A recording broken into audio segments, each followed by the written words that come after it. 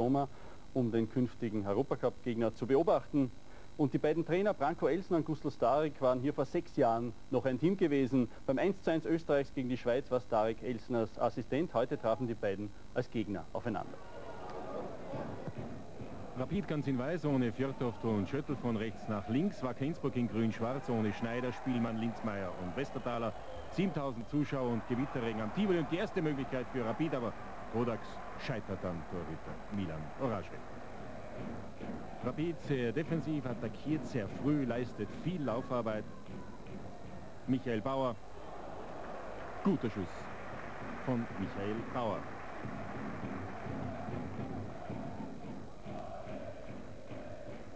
Kübauer. Rapid mit geschickter Raumaufteilung. Immer Kübauer.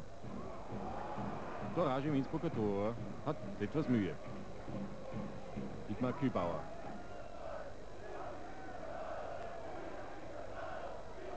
Kübauer gegen Hartmann.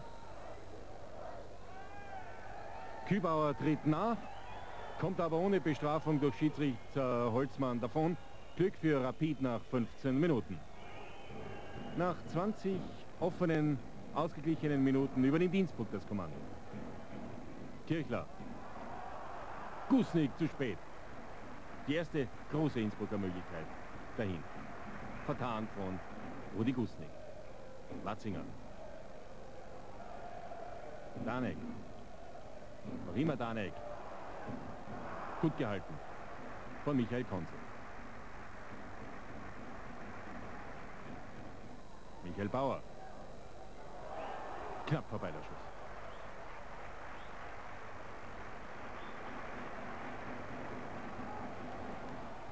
Behn. Gusnik. Mario Behn. Petzl attackiert korrekt. Kein Elfmeter, so wie es das Publikum gerne gesehen hätte. Kein Elfmeter gegen Mario Behn.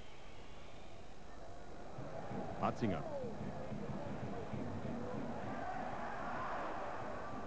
Bauer verfehlt. Immer wieder kann sich Rapid befreien. Und sorgenvolle Miene bei Branko Elsner. Nur mehr ganz selten die Angriffe Rapids. Rodax gegen Watzinger. Rodax problemlos vom Ball getrennt. Halbzeitstand 0 zu 0. Die zweite Spielhälfte. Rapid noch defensiver, Wacker Innsbruck noch offensiver. Matzinger. Guter Haken, guter Schuss. Robert Watzinger. Wieder Wacker Innsbruck.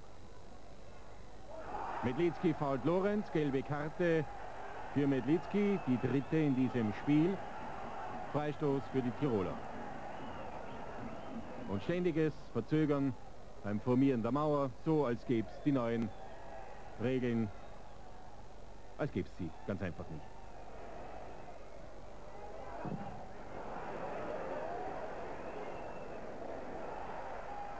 Foul von Kübauer, wieder Freistoß.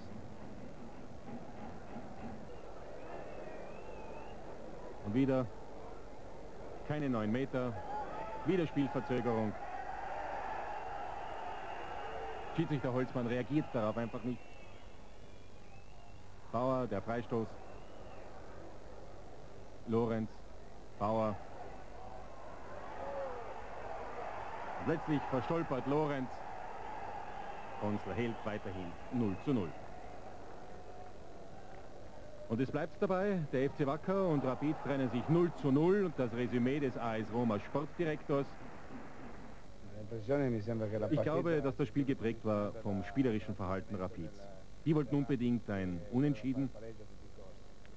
Rapid hat 20 Minuten gut gespielt, dann nachgelassen. Innsbruck hat alles probiert, aber Rapid hat sich mit elf Mann verteidigt. Somit war es schwer, auch mit dem immer schwereren Boden wegen des Regens. Da lässt die Präzision nach. Man kommt schwer zu Toren, außer vielleicht mit einem Weitschuss. Am Ende schien es mir, als könnte Innsbruck konditionell noch zulegen, während Rapid schon müde war. Und dies ist ein Indiz für Innsbrucks ausgezeichnete Kondition.